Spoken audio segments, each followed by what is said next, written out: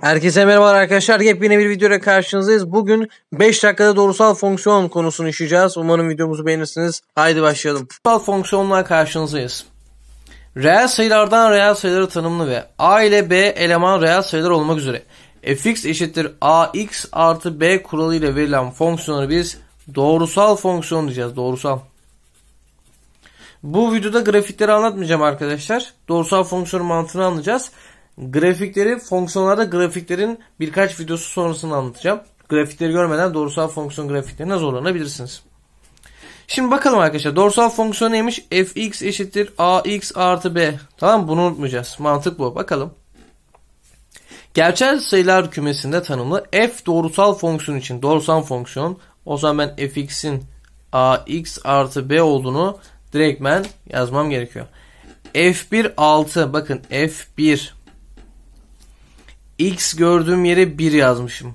Burada da x gördüğüm yere 1 yazalım. a kere 1 a. E yanında da b var. Tamam f1'i bulduk. f2 de vermiş bize çok güzel. f2 nedir? x yerine 2 yazacağım. 2 kere a 2a artı b. Çok güzel.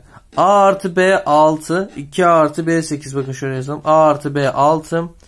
2a artı b eşittir 8 ise şöyle yapabilirsiniz arkadaşlar. Şuraya çıkartırız. Eksileri çarparım. A artı B eksi B'ye götürür. A eksi 2A eksi A yapar. 6 eksi 8'den eksi 2. A da buradan 2 gelir. Doğru mudur? Doğrudur. A 2 ise 2 kere 2 4. 4 artı B eşittir 8 ise B de buradan 4 gelecek. O zaman ben fx fonksiyonunu nasıl buldum? fx fonksiyonu. ax artı b idi. E, a'mız kaç? 2. B'miz kaç? 4. 2x artı 4'tür. Bana isterse f100'ü sorsun fark etmez. Ben fonksiyonun denklemini buldum. Denklemini buldum. x gördüğün yere 10 yazıyor. Yazalım. f10 eşittir. 2 çarpı 10 artı 4'ten 20 artı 4'ten 24 dedik patlattık arkadaşlar. Tamam mı? Ne yaptım? Önce f1 f2 yerlerine yazdım. Sonra dedim ki bana a ile b lazımdır.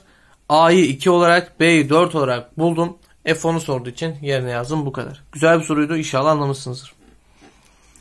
Ve geldik bir diğer güzel sorumuz arkadaşlar. 3 konuyu birden barındırıyor. Hem birim fonksiyonu bileceksin hem sabit hem de doğrusal fonksiyon. fx birim fonksiyon fx eşittir a artı b x artı 4.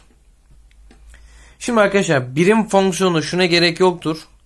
Ve fx x'e eşittir. Yani a artı b x. Ne ol bakın şöyle fx eşittir x'e.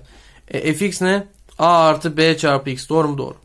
O zaman ben a artı b b'nin ne olduğunu bilmem gerekiyor. 1 değil mi? x'in katsayısı 1 burada da 1. O zaman ben a artı b'nin 1 olduğunu bir köşeye yazayım işime yarar.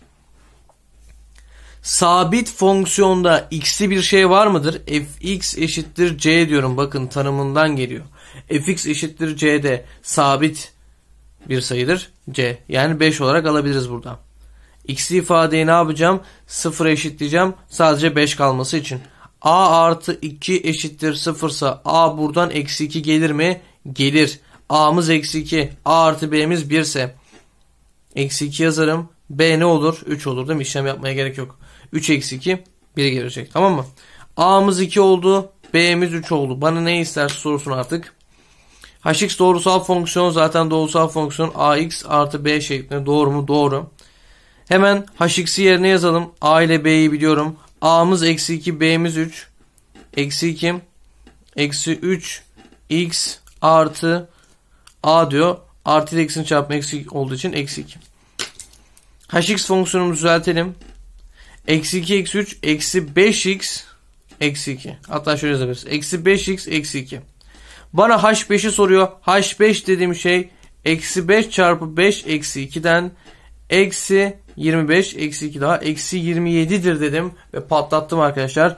Birim fonksiyon içine ise dışı o. Sabit fonksiyon x'i bir şey görmeyeceğim sayı olacak yani şey olmayacak.